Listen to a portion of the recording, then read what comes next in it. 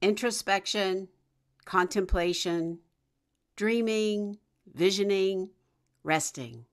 These are the qualities of winter.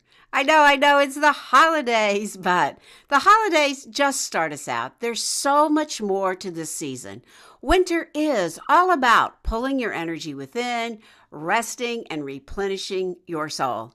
Today on the Empowered Spirit Show, I offer a meditation to help you come in, to take a moment and really open up to this brand new season of winter. My hope my hope is that you will take a few moments and receive the messages of this meditation for your soul. Check it out. You can find the Empowered Spirit Show on all your favorite podcast platforms. Many blessings to you and to your family from my heart to yours. Happy holidays to your spirit.